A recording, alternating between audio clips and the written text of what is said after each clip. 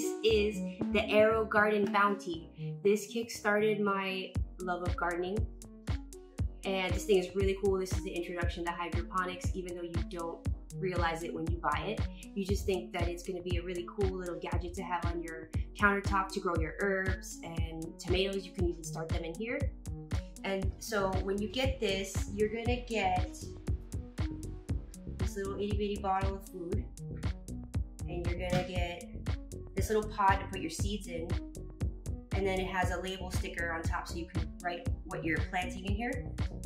And then this thing sits on top. It goes into the water bucket.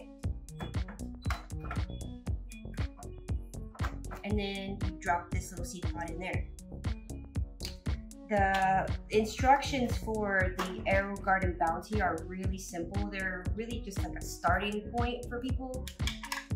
They say to use two capfuls, uh, one capful at startup every two weeks. This is for the 12 pod one though. So it would be four capfuls at startup at the second feeding, and then six capfuls every two weeks.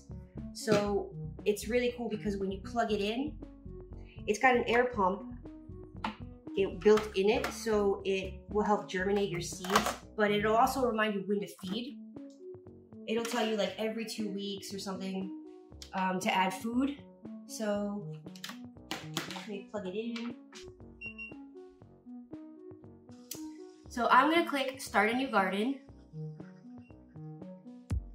Uh, it'll say set your clock. It is 10.04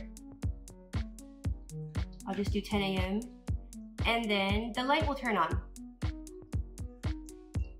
Then it's got options for herbs, lettuce, tomatoes, uh, peppers, flowers, and then custom.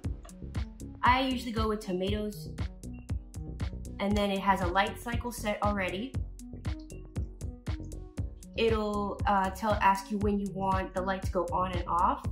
But it already has 15 hours uh, of light cycle built in for tomatoes because that's what helps seeds uh, germinate and plants to grow.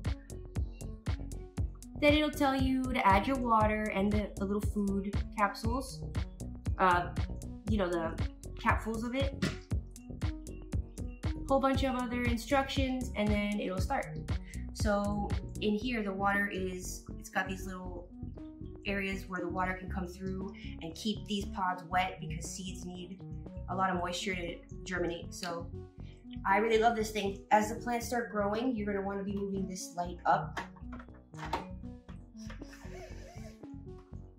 so that the plants continue to reach for the light. If you keep this light low, plants tend to stay low. They get very bushy and you do want them to get taller and bigger. So that's the air AeroGarden Bounty, I love it. So I'm gonna move on to the watering portion of it because I think that this is really basic. It's uh, and as you get more into hydroponics, you're gonna wanna upgrade your equipment and try some new tricks. So that's where these little tools come in. This is a conductivity pen, and this is a pH pen. So our water here at home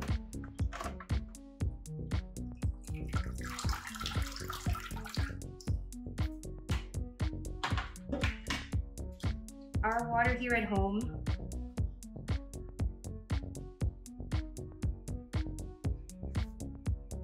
is above 7 on the pH pen, which is fine, but when you get more into the hydroponics fascination, you're gonna want to adjust your pH of your water. And different areas uh, have different kinds of water um, quality. So ours was really terrible here where I live, and we use uh, we got a water filtration system put in, and that's fine. That's not going to hurt anything. And then as far as parts per million, which is the mineral content in your water, ours is at 170. It starts at 170. So when it comes to parts, when this when you use this pen, it comes to parts per million uh, you, you're going to want to start feeding your plants more. And when you put nutrients into the water, that number on the ppm meter is going to go up. That's great. It just, it also depends on what you're putting in your water. So with the AeroGardens, it keeps it at a low uh, parts per million and it doesn't really play too much with pH.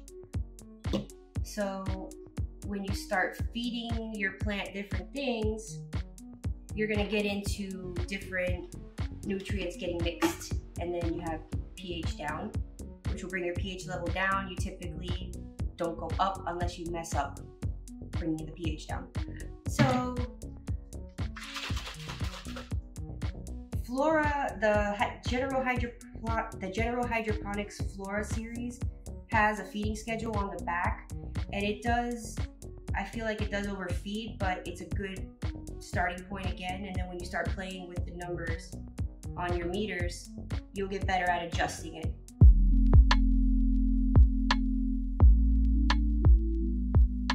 All right, I'm gonna start mixing the nutrients into the AeroGarden bucket according to the instructions written on the bottle. And then I'm gonna measure it for with the pH meter and the ppm meter. So if we do what AeroGarden wants us to do, we're gonna do one, two, three, four. Four capfuls for this version, which is an iPod model. Uh, two capfuls, I put four in. That was my mistake. Then we're gonna mix it.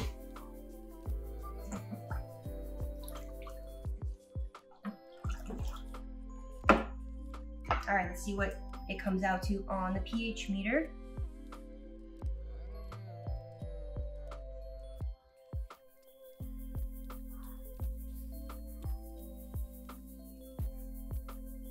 Seven point one parts per million.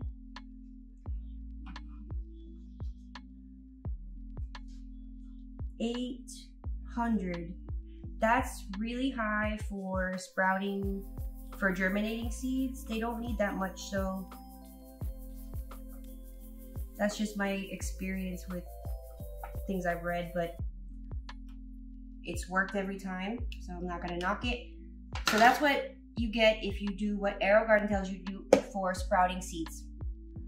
I'm gonna mix a bucket of tomato nutrients, and these are for already established plants. So I'm gonna follow the feeding schedule on the back of the General Hydroponics line. And then I'm gonna use the one for aggressive vegetative growth. So there's the feeding schedule on the back of the bottle. It's a really good starting point. It's got different um, variations of the feeding schedule for things like seedlings and cuttings, general purpose, aggressive vegetative growth, which is the one I like to use a lot, transition to bloom if you're growing something for blooming, and then um, a more aggressive blooming and ripening schedule. So the first part of the series is this green bottle. We all have these laying around, probably more than we want, and this is a good use for them. So we're gonna pour some of these into here, some of this green bottle into here. And the uh, feeding schedule I'm using is the aggressive vegetative growth. So it says three teaspoons of this green bottle, two of this purple, and one of the blooming. Because right now my plants are still growing. They're still in the vegetative stage of their growth. They're not mature enough to need this so much of this pink bottle when they're gonna need this pink bottle more is when they uh, start ripening and getting fruit on them. Then I'm gonna change the feeding schedule to the transition to bloom and blooming and ripening. So for what I'm doing now, it's three, two, one. They say that it's per gallon, but when I fill up a five gallon bucket of water, um, if I was going to do the math and multiply that feeding schedule by five, it's really uh, what they call hot. Like it's, it's it's just too powerful, I think. So I do. I follow the feeding schedule in a five gallon bucket as if it was one gallon of water. So three,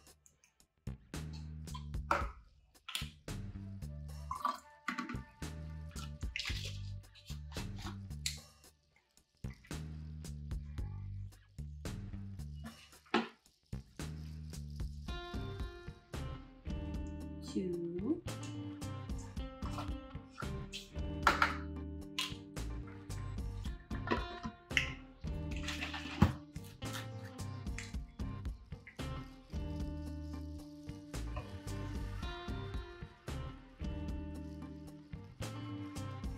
one. Give it a good stir.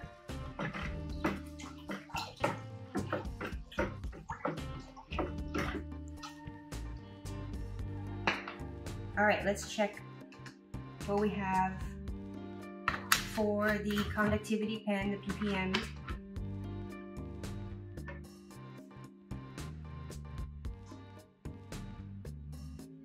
Five eighty. That's really good. Could be a little bit higher, but that's really good for the stage that my tomatoes are in. And then let's check the pH.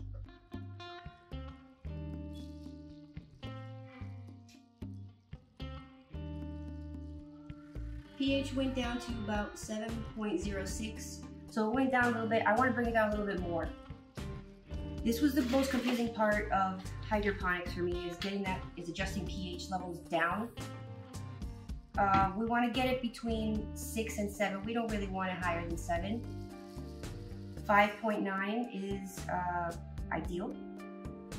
So we're going to take this little squeezy bottle, comes with it. One, I found that two to three for me works best. So I do three squirts into the big bucket, give it a stir. Now let's check the pH.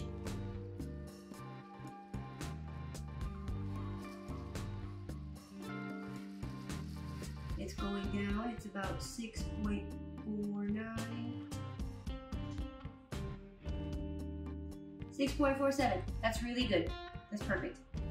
You'll also you'll see some other numbers on here, and this uh, is also really important. That's the temperature of your water. Um, hydroponic roots don't like water temperatures to be warm. They like them cold.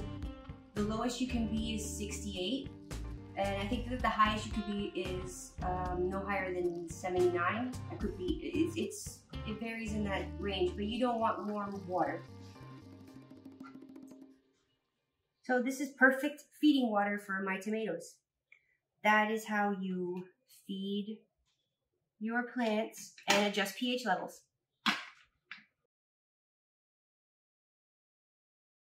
Okay, let's see if these roots have improved since I planted them.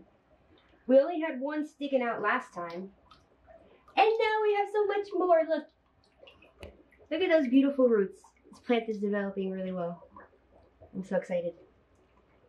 These are the Black Krims.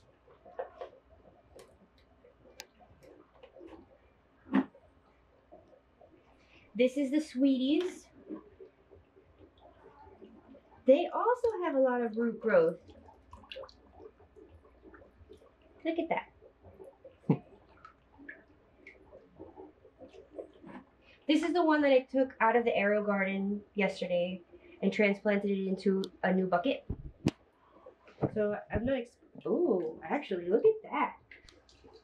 Wow. Look at those little hairs. Look at this one. This side. Look at that. They know what to do. They're going looking for that water in there. Can you go look at the? It's these bubbles. They love bubbles. Bubbles.